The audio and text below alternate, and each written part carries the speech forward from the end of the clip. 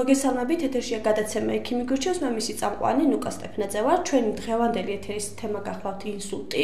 საუბრობთ ინსულტის შესახებ ზოგადად რა არის რა არის მისი გამომწვევი მიზეზი რა სიმპტომები ახასიათებს და როგორ ხდება თანამედროვე მეთოდებით უკვე ინსულტის მკურნალობა. ამ და სხვა კითხვებს ჩვენს ეთერში უპასუხებს. კავკასიის მედიცინის ცენტრის ნევროლოგიური სამსახურის უფროსი ნინო აქიაშვილი მადლობა ქალბატონ ნინო მოგზანებისთვის მოგესალმებით. მოგესალმებით, მივესალმებით თქვენს მაყურებელს. დიდი მადლობა სტუდიაში მოწვევისთვის და მინდა გარკვეულწილად თქვენს რეგიონში წვლილი შევიტანო ინსულტის ცნობადებასთან დაკავშირებით. მადლობა კიდევ ერთხელ. თქვენ ჩვენს რეგიონში ახალციხისებრ ჰოსპიტალში მოწვეული ექიმი ბრძანდებით ამ ეტაპზე და საკმაოდ ასე ვთქვათ აქტუალური თემა არის ინსულტი სოფლიოში, როგორც ვიცით და რა თქმა უნდა მას შორის საქართველოში და თავდაპირველად რომ ახსნათ რა არის ინსულტი და რამდენი სახის არსებობს. დიახ. პირველი შევეხები იმას რომ ინსულტი დღესდღეობითაც ძალიან აქტუალურია, რა თქმა უნდა, სოფლიოში და შესაბამისად ჩვენს ქვეყანაშიც. ეს წარმოადგენს სიკვდილობის და ინვალიდიზაციის გათვალისწინებით საკმაოდ პირველ რიგებში დგას სხვა დაავადებებთან ერთად. და მინდა გითხრათ რომ ინსულტი ეს არის თავის ტვინისა და ზურგის ტვინის მწვავე სისწარღვოვანი დაავადება. იგი გამოვლინდება სხვადასხვა ნიშნებით, ამიტომ ძალიან მნიშვნელოვანია თვითონ აი ამ ინსულტის ამოცნობა, სიმპტომების ასე ვთქვათ შემჩნევა, ეს ხდება ძირითადად ოჯახში, შესაძლებელია იყოს ოჯახის გარეთაც, ახლობელ ადამიანთან, სამსახურში, ქუჩაში, თავშეყრის ადგილებზე და ასე შემდეგ. რა სიმპტომებით გამოვლინდება ინსულტი? რა არის ინსულტის ესეთი სახასიათო ნიშნები? პირველი შესაძლოა ეს წარმოქმნილი იყოს მეტყოლების გაძნელებით, სახის ასიმეტრიით, ცნობიერების შეცვლით, დაბუჟებით კიდურებში, სისუსტით კიდურებში, წონასწორობის დარღვევით, შესაძლებელია იყოს უეცრად დაწყებული, ასე თქვა, თავის ტკივილის ცნობიერების შეცვლა და ასე შემდეგ. ძალიან აქტუალურია, ვინაიდან სწრაფად ამოცნობა სიმპტომების ნიშნავს იმას, რომ პაციენტი სწრაფად მოხვდება ჰოსპიტალში და შესაბამისად დროულად და სწრაფად დაწყებული მკურნალობა პირდაპირ აისახება, რა თქმა უნდა, დაავადების გამოსავალს. რამდენი სახის ინსულტი არსებობს? არსებობს ორი სახის ინსულტი, ეს არის იშემიური ინსულტი და ეს არის ჰემორაგიული ინსულტი. და თვითონ რას ნიშნავს იშემიური ინსულტი? იშემიური ინსულტი ნიშნავს იმას, როდესაც თავის ტვინის, ზურგის ტვინის მკვებავს სისხლძარღს დახშობა ხდება, ეს ხდება თრომბით, ეს ხდება ემბოლიით, ან სისხლძარღვის შევიწროება ხდება, იკლებს სისხლის ნაკადი, ასე ვთქვათ, სისხლძარღში და შესაბამისად ხდება რეგიონულად ტვინის ქსოვილის საკვები ნივთიერებებით და ჟანგბადით მომარაგების გაზნელება. უკვე ვითარდება ამ დროს ნევროლოგიური სიმპტომები, ჩამოგითვალეთ მე თქვენ ეს ნევროლოგიური სიმპტომები და ეს არის იშემიური ინსულტი. არის ჰემორაგიული ინსულტიც, როდესაც ერთადად ეს ხდება ხოლმე მაღალი წნევის ფონზე, სისხლი მოხდება მოექცევა თავის ტვინის დივთიერებაში და შემდგომ ეს უკვე იწევს გარკვეულ ნევროლოგიურ სიმპტომებს. ჰემორაგიული ინსულტსა და იშემიური ინსულტ შორის ესე პოპულარულად ძალიან მკაცრი საზღვრის გავლება კომპიუტერული ტომოგრაფიის შესახებ არის ძალიან ძნელი. ამას საბოლოოდ ადგენს მხოლოდ კომპიუტერული ტომოგრაფია.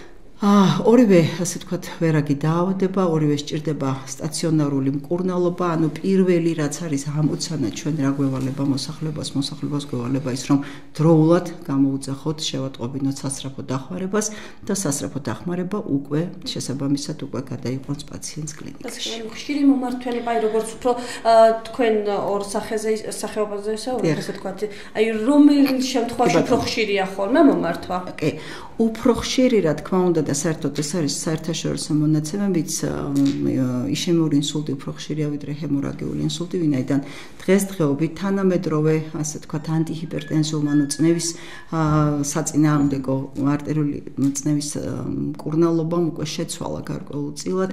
არ არის ისეთი ხშირი ჰემორაგიული ინსულტი, თუმცა რა თქმა უნდა, გვხდება ჰემორაგიული ინსულტის შემთხვევები. ხალხს. გასაგები.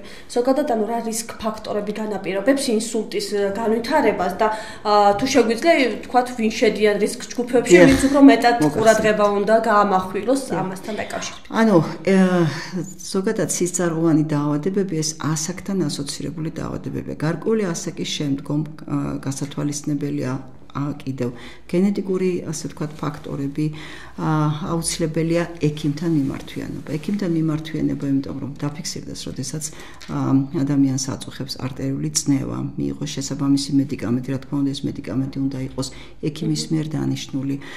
იმ შემთხვევაში, როდესაც არის აი მაგალითად ესეთი არის ინსულტის ერთ-ერთი მიზეზი არის იშემიური ინსულტის წინაგულთა ფიბრილაცია, მოციმციმე არითმია, აუცილებელია ჩართულობა კარდიოლოგის გულის იშემიური დაავადება. არის რისკ ფაქტორები, როდესაც ეს ჩვენზე ხშირ შემთხვევაში დამოკიდებულია მაგალითად ადამიანებზე, როდესაც არის ალკოჰოლის ჭარბი მოხმარება, ტოქსიური ნივთიერებების ჭარბი მოხმარება, უნდა იყოს ეს თავიდან აცილებული ჭარბი წონა და ასე შემდეგ რაც შესაძლებელია რომ ჩვენ დავარეგულიროთ და თავიდან ავიცილოთ დამატებითი რისკ ფაქტორები. ასაკი, რა თქმა უნდა, არტერიული ჰიპერტენზია, მოცინციმე არითმია, სხვადასხვა სიცაროვანი პათოლოგიები და არის კიდევ ინსულტის ძალიან ბევრი იშვიათი მიზეზები, რომელიც ახლა რა თქმა უნდა არც ერთი სტუდია ამისთვის არ არის იმსად და ეს მოვაბეზრებ თავს კიდევაც ასე უფრო მკვეთრად გამოკვეთილი, რასაც უფრო მეტად ყურადღება უნდა მიაქციონ. რაც არის ხშირი მიზეზი. გასაგებია.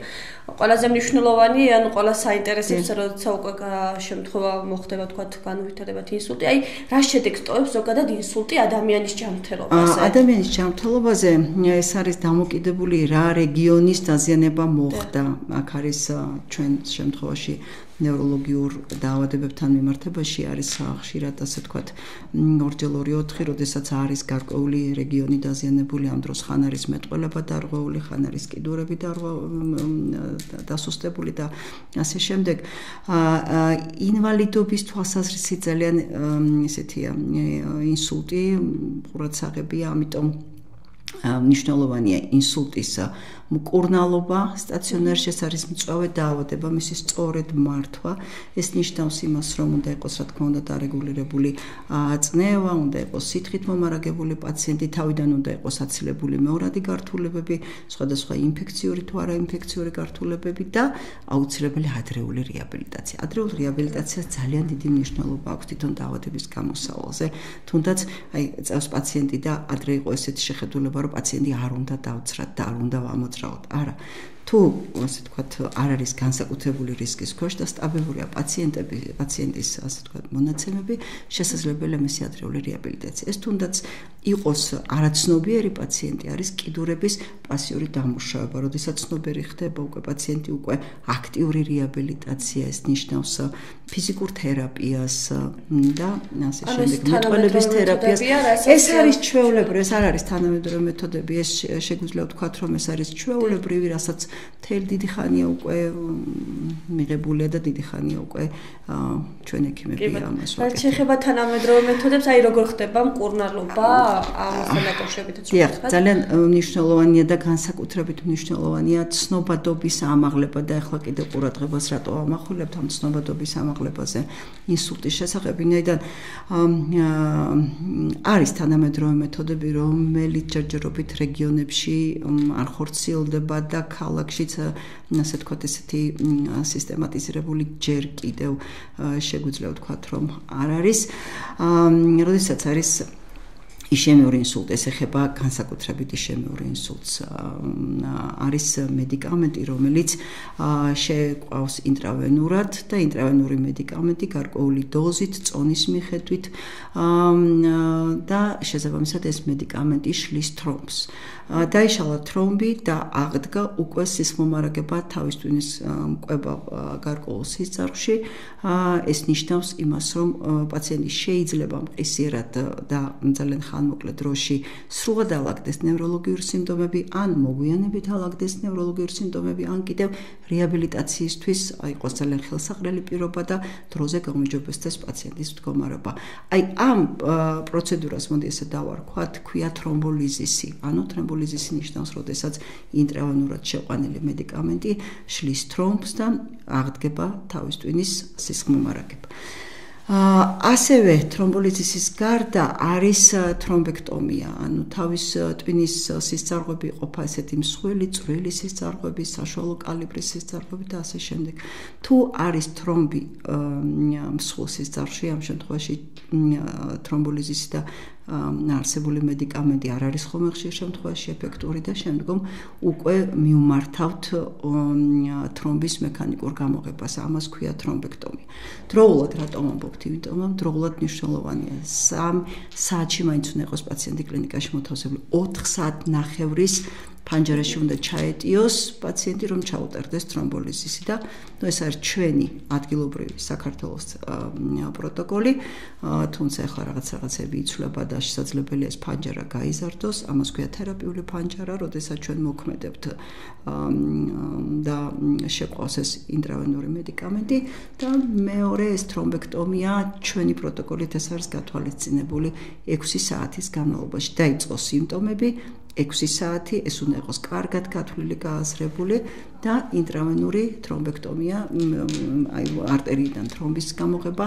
ნიშნავს ასე ვთქვათ რომ ეს დიდი შანსია რომ პაციენტის მდგომარეობა ხანმოკლე დროში თუ არა რაღაცა გარკვეული პერიოდის შემდგომ გაუმჯობესდეს. ესე იგი, ეს მეთოდი ჩვენთან როგორ არის დაალაგდება აუცილებლად იქნება, ამაზე მიდის დღესდღეობით, ასე ვთქვათ, ტელენისტი აქტუალური და აქტიური აქტუალურია და მიდის აქტიური მუშაობა და ვფიქრობ, რომ ასე ვთქვათ, დროულად მიაღწევს ეს რეგიონებსაც.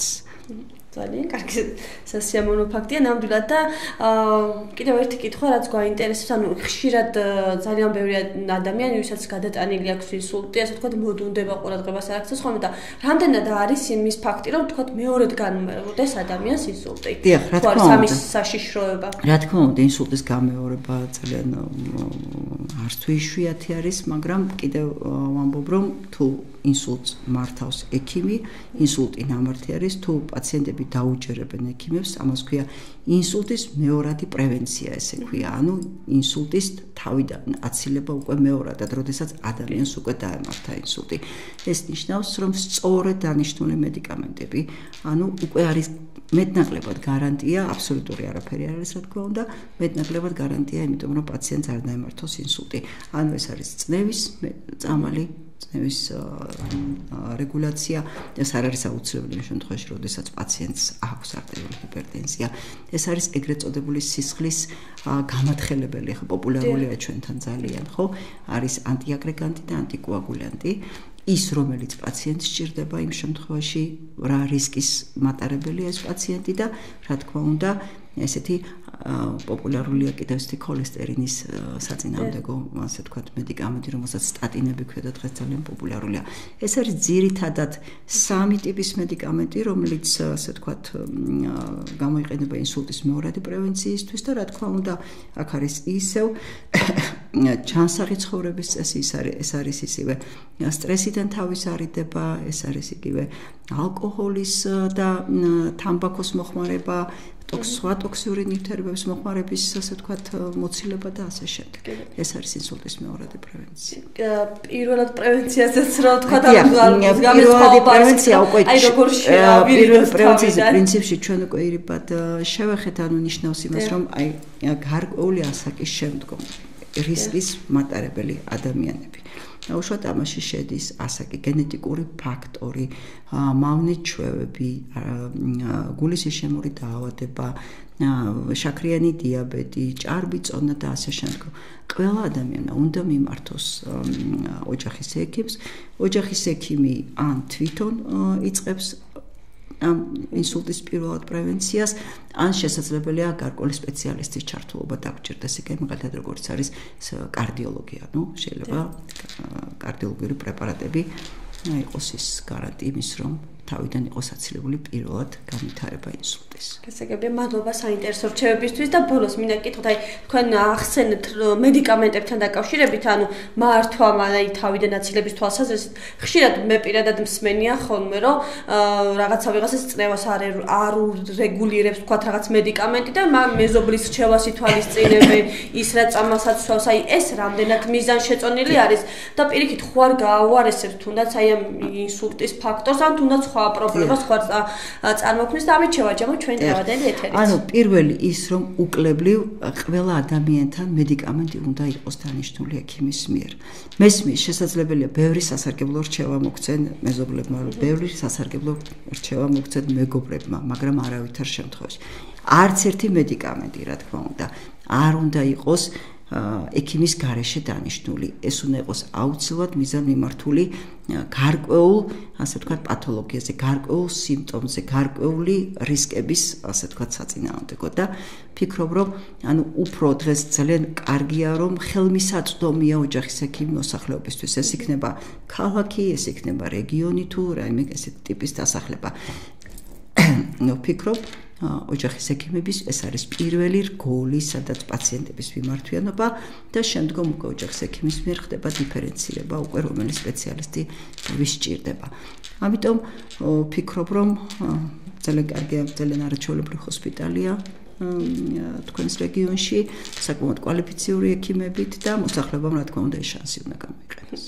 მადლობა კიდევ ერთხელ რომ თქვენს ჩართული ხართ და გიწევთ ჩვენს რეგიონში ჩამოსვლა და ჩვენი რეგიონის პაციენტების მიღება და დღეს საკმაოდ საინტერესო თემა შევეხეთ ინსულტს ამისთვის მადლობა რეკომენდაციებისთვის და რჩევებისთვის მაგი ჩვენს მე შევახსენოთ რომ დღეს ჩვენს ეთერში ვსაუბრობდით ინსულტის შესახებ ზოგადად რა არის რა არის მისი გამომწვევი მიზეზი და როგორ შეხდება შემდეგ უკვე თანამედროვე მეთოდებით მისი მკურნალობა.